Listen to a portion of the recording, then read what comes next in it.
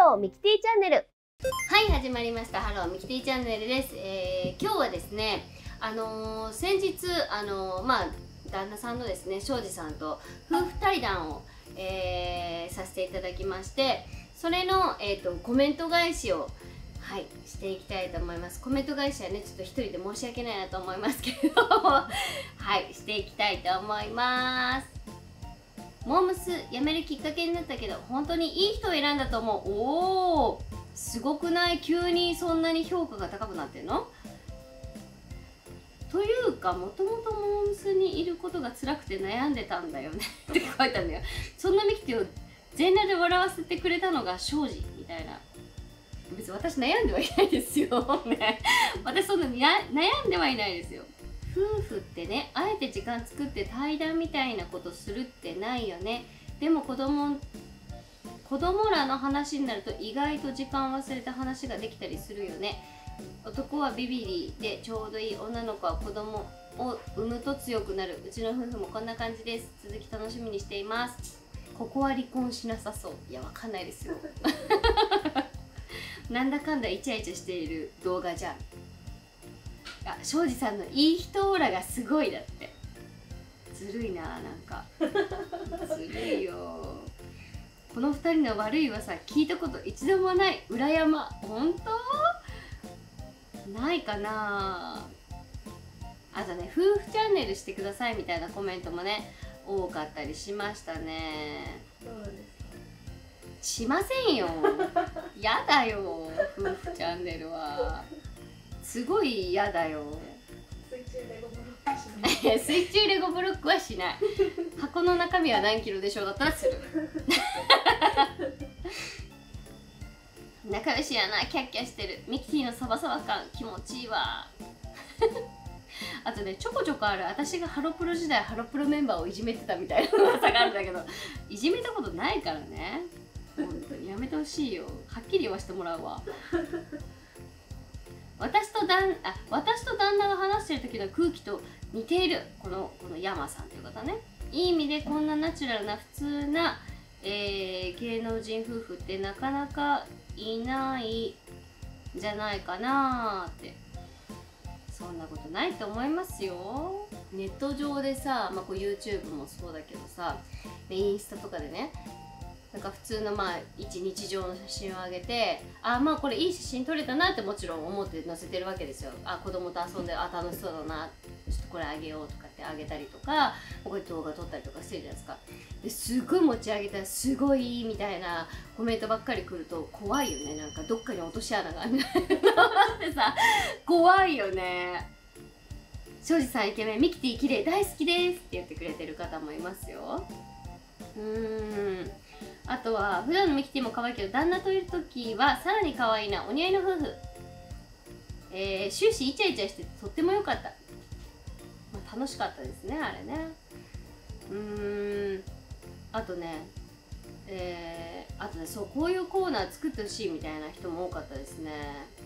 ミキティの怒るツボ分かる叩き方も容赦ないとこがミキティらしくていい。バシッて言ってましたからね。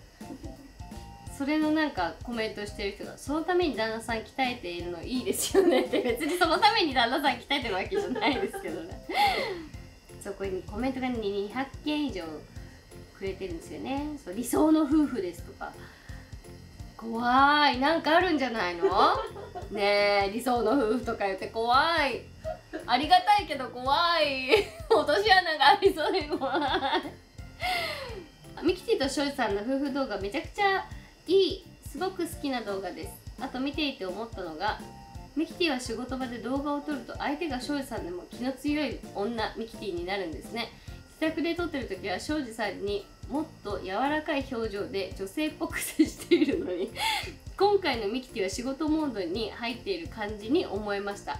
庄司さんはかっこいいんだけどかっこいい時とそうでもない時の差がある。今回は服が似合っていてとてもかっこよかったです。どういうこと？庄司ファンの母はいつも庄司はかっこいいと言っていますが次回も楽しみにしています。お母さんありがとう。面白いな。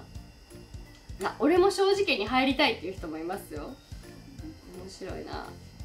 可愛いミキティサバサバしててたまに口悪くなる感じが嫌いじゃない。ありがとう。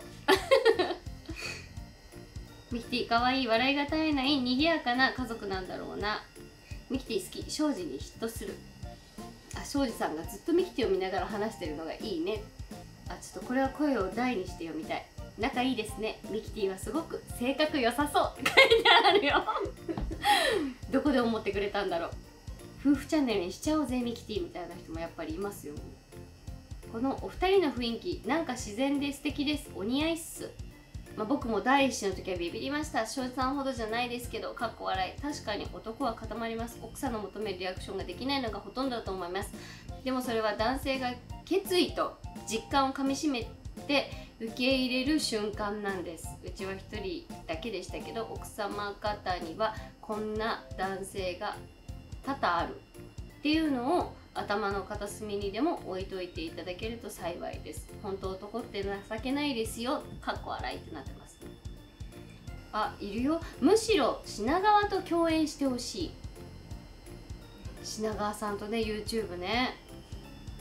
来てくれるのかな？2人でもやってますもんねそうですね。品賞チャンネルで品賞幕府かっていうチャンネルやってますね。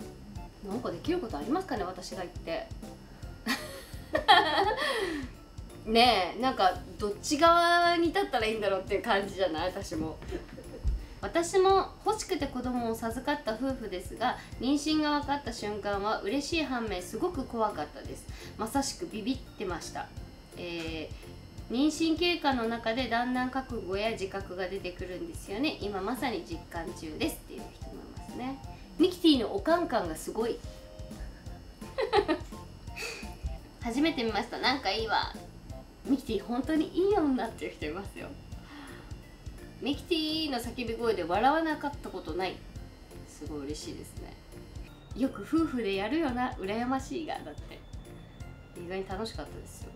自分の奥さんとしても大事にしていると同時にミキティのファン目線としてのバランスが素晴らしい。そうすごいね庄司さんね。あの、まあ、こうやって表に一緒に出たりとかなんかする時とか、まあ、私のこの芸能活動の方を考えてくれる時はねすごいファン目線で、まあ、これやったら喜ぶんじゃないとかっていうこと結構言ってくれたりとかしますね。あと「いや俺が出てってもさファンの人嫌でしょ」とかさ。そうそうそうそうそう。あトリュフ隠してんの可愛すぎって。バレてましたよトリュフ隠してるの。泣くくらい悩めるっていいお母さんだよっていうね翔さんが言ってくれた言葉ですけど素敵すぎるうちの奥さんが妊娠中は奥さんが仕事してたのもあり僕は仕事しながら家事全部やってた。うちの奥さんは家事できる時だけしてもらってできるだけうちの奥さんの負担なくしてたな。結構大変だったけど無事に子供が生まれて幸せです。すごい協力的なパパで素晴らしい。面白夫婦やなミキティかわいい。食べな寝な。いい夫婦。庄司と結婚したいっていう人いるよ。ちょっとみんな庄司の良さが分かってきたんじゃない？そうこれがね結構あったんだよな。ミキティと話している庄司さんなんか意外とかっこいい。いい意味で庄司モテ期来たんじゃないでしょうか。成城石井にトリュフ見に行きます。行ってください。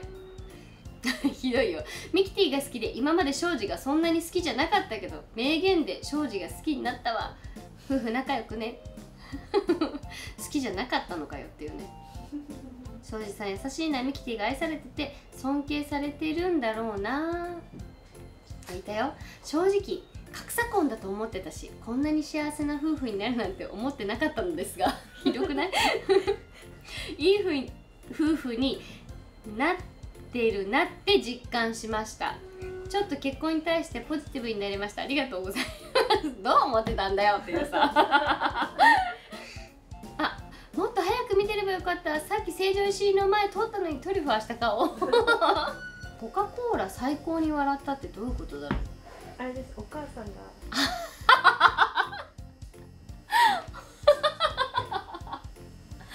本当だよね。私も謎でしかないよいまだに。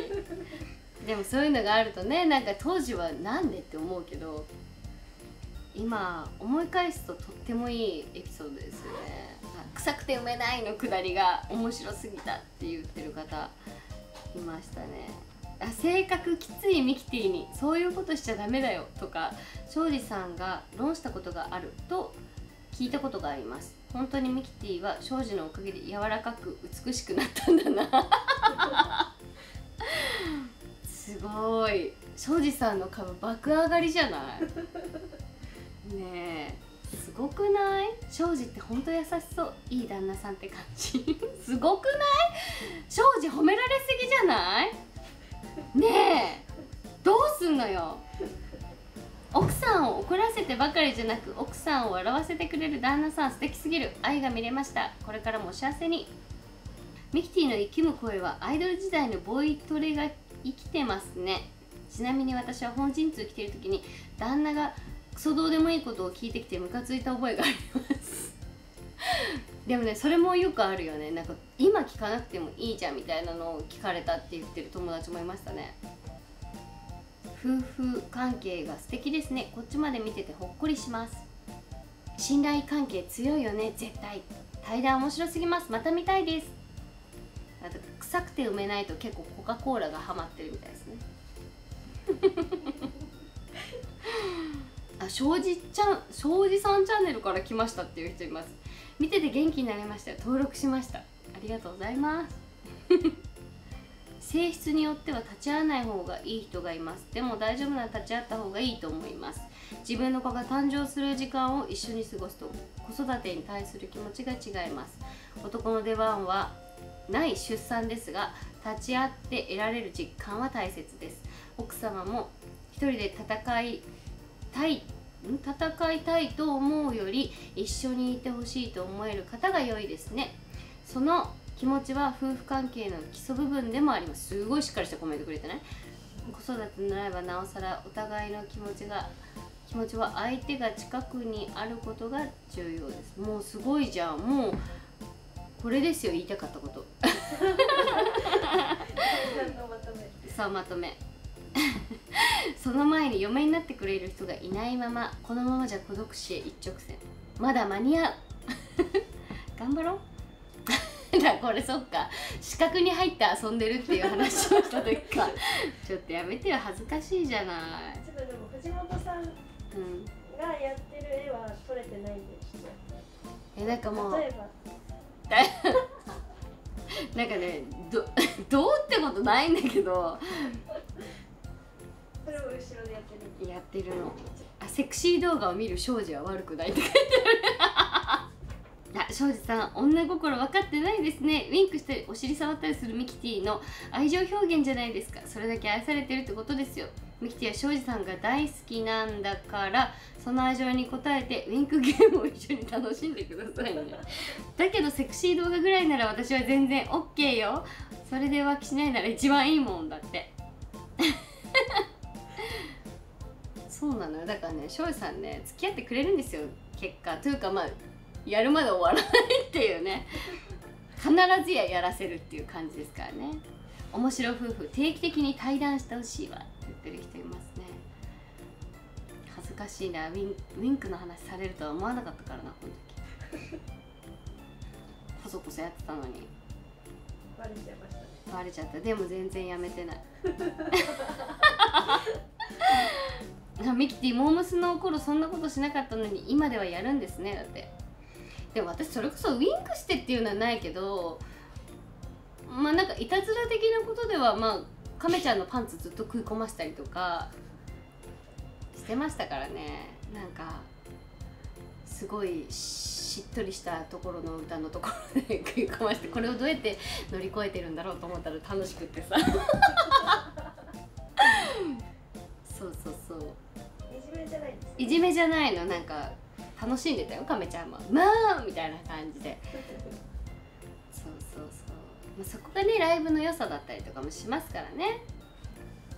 なんかこうその日何が起こるか分かんないっていうのがライブの良さですよ。あ結婚願望あまりなかった大学院生ですがミキティやカジサックの動画見て彼女と結婚したいなと徐々に思うようになってきてる。おいいですね。すごい。つくづく思うのは夫婦は、えー互いの相性が合うことと相手のことが好きの2つあれば何とでもなりますね。他人ですから理解できずにイラつくことがどうしてもあります。その時それを乗り越え補うのが相性と愛情です。冷静に話して分かり合えたり分からなくても譲ることができるのは夫婦。関係において大切です。お二人はその意味ではいい、えー関係性で安定ですね。なんか占い師みたいだな すごい。超面白い夫婦やわ。この手の動画も定期的に上げてほしいだって。定期的にね呼ぶとね「いいよ俺そんなに出ても」って言われちゃう。そんな俺見ててもしょうがないでしょって。ミキティさんの明るさに癒されます。後半も楽しみです。早く見たいですこの2人の対談大好き。笑ったわ。資格の話。セクシー動画は笑って許しましょう。すごい。セクシー動画にみんな寛大な気持ちでいますね。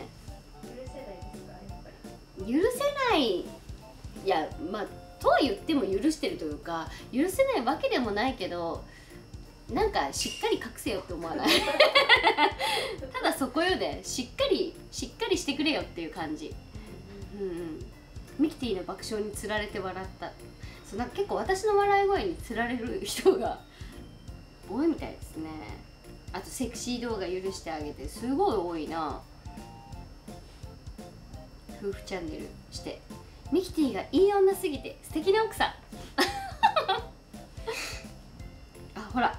えこんな美人な奥さんがいるのに？って書いてる人もいる。セクシー動画のことかな？じゃあ次いきますかね。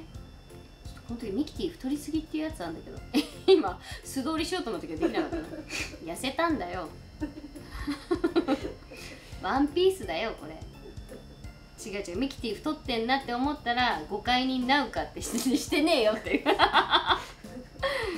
してませんしてません。ただ今ちょっと巨乳なだけです。庄司の浮かれモードを見たい人みたいなあったりとか庄司マジでかっこいい。普通に俳優かと思う。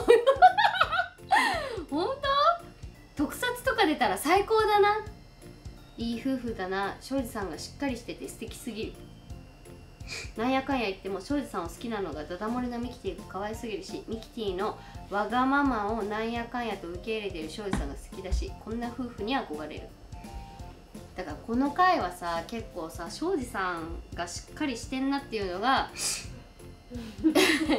言われてるよね。あ終わってしまったの寂しいっていう人いるよ。ザ夫婦漫才って感じって書いてある。うんうんうん庄司出演はレギュラーでも良いと思うっていう。それもうミキティチャンネルじゃなくなっちゃうじゃん。そうね。今のミキティ大好きポジティブで強い女性。ツータンが彼氏を家に連れてきた日には庄司さん裏で泣きそう。本当じゃない。すごい泣くと思う。ミキティのメンタル見習いたい。リアル仲良し夫婦見られて幸せになりました。あ庄司の浮かれモード面白そう。あと、えー、牧野マリアちゃんがラジオでミキティの家にお呼ばれしたいって言ってたよ。呼んであげてって言ってました。書いてありますね。呼んで来てくれんのかな本当に。呼んでみたいよね。なんかどんな感じなんだろうね。そんな喋ることもないだろうしさ。なんかわかる？あるかな？なんかずっと私が喋ってそうじゃない？で,、まあ、でも子供がいるからそのあの年末のハローを見に行った時もあの楽屋というかスタッフルームに私たち家族がいてでそのマリアちゃんとかさあの小田小田ちゃんとかまああの何人か挨拶、まあ、来てくれたりとか、まあ、そこでずっと話したりとかしててそうそうだから子供もいて一緒に遊んでくれたりとかもしてたからそうそうそうツータはねマリアちゃんがすごくお気に入りでマリアちゃんをお家に呼びたいって言ってました。そうそうそうだからねちょっとタイミング見てねでもなんか一回誘って断られたらもう心折れるから 一回呼んだら一回目で来てほしい庄司さんイケメンミキティ綺麗大好きですありがとうございます。庄司さんすごい痩せたね。そう。痩せたんですよ庄司さん。年末から。だから振り付け庄司の浮かれモードがやっぱみんな結構見たいんだね。娘とね褒め合ってる。笑いながらもちょっと羨ましいいい家庭である。そう娘とね。あんまりじっくり話してる庄司さん見たことなかったけど謙虚な人だな。ミキティが答えてあげるって言った時すぐその感覚やばいよって真面目に言うのがすごい好感持てた。こういう人が芸能界でも長く愛されるんだろうなだって。そう庄司さん。真面目でね誠実な人ですよ。そうそうそうそう。でいつも怒られてる。いやなんかねそいやまあそれはちょっと冗談交じりでもあるんだけどなカフェ行って私はティラミスが食べたかったの。でしゅさんは別に普通にじゃあ俺プリンって言ってで待ってたわけ。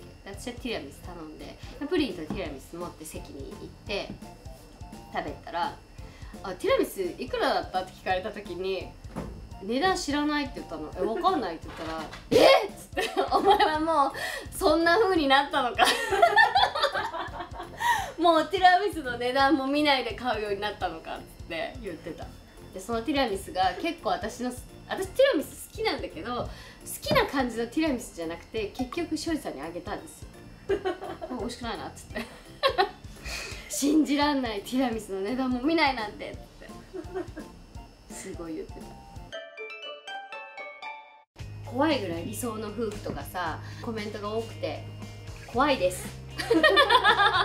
逆に怖いです。夫婦対談のコメントありがとうございました、えー、これからもですね引き続き好意的なコメント。そしてちょっと意地悪なコメント。お待ちしております。以上ハローミキーチャンネルでした。はいこの動画がいいなと思った方はグッドボタンとチャンネル登録よろしくお願いします。この動画が面白いと思った方はグッドボタンとチャンネル登録お願いします。以上ハローミキティチャンネルでした。